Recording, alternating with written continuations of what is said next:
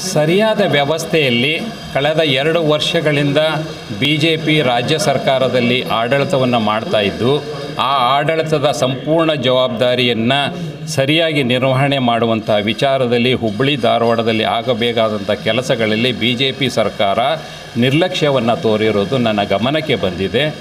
ಮುಂಬರುವಂತಹ ಚುನಾವಣೆಗಳಲ್ಲಿ ಈ ವಿಚಾರವನ್ನು ಪ್ರಸ್ತಾವನೆ ಮಾಡ್ತೇವೆ. ಯಾಕೆ ಅಂದರೆ ಜನಪ್ರತಿನಿಧಿಗಳು ಇಲ್ಲದೇ ಇರುವಂತಹ ಈ ಎರಡು ವರ್ಷಗಳಲ್ಲಿ ಅದ್ಭುತವಾದಂತಹ ಕೆಲಸಗಳನ್ನು ಸರ್ಕಾರದಿಂದ ನೇರವಾಗಿ ಮಾಡೋದ್ರ ಮೂಲಕ ಜನಸಾಮಾನ್ಯರ ಬವಣೆಗಳನ್ನು ತೀರಿಸುವಂತಹ ಕೆಲಸದಲ್ಲಿ ನೀವು ವಿಫಲರಾಗಿದ್ದೀರಾ? ಇದಕ್ಕೆ ಮುಂದಿನ ಚುನಾವಣೆಯಲ್ಲಿ ಜನತಾ ನ್ಯಾಯಾಲಯದಲ್ಲಿ ಆ ಪಕ್ಷ ತನ್ನದೇ ಆದಂಥ ಅಭ್ಯರ್ಥಿಗಳನ್ನು ನಿಲ್ಲಿಸೋದ್ರ ಮೂಲಕ ಎಲ್ಲೆಲ್ಲಿ ವಿಫಲತೆಯನ್ನು ತೋರಿಸಿದ್ದಾರೆ ಈ ಸರ್ಕಾರ, ಎಲ್ಲೆಲ್ಲಿ ಸರ್ಕಾರ ನಿರ್ಲಕ್ಷ್ಯತೆಯನ್ನು ತೋರಿಸಿದ್ದಾರೆ ಅಂತ ಅನ್ನೋದನ್ನು ಎತ್ತಿ ಹೇಳೋದ್ರ ಮೂಲಕ ನಮಗೆ ಒಮ್ಮೆ ಅವಕಾಶವನ್ನು ಕೊಡಿ. ಮತ್ತು ನೀವು ಆರಿಸಿ ಕಳಿಸಿದಂತಹ ಬೇರೆ ಬೇರೆ ಪಕ್ಷದವರು ಇವತ್ತು ರಾಜಕೀಯ ಲಾಭಕ್ಕೋಸ್ಕರ, ಬೇರೆ ಬೇರೆ ರೀತಿಯ ಅಂಶಕ್ಕೋಸ್ಕರ ಬೇರೆ ಬೇರೆಯ ಒತ್ತಡಕ್ಕೋಸ್ಕರ ಪಕ್ಷಾಂತರ ಮಾಡ್ತಾ ಇದ್ದಾರೆ. ಅಂಥವರನ್ನೆಲ್ಲ ಬೆಂಬಲಿಸದೆ ಆಪನ್ನು ಬೆಂಬಲಿಸಿ ಅಂತ ನಾನು ಕೇಳ್ಕೊಳ್ತಾ ಇದ್ದೀನಿ. ಧನ್ಯವಾದ.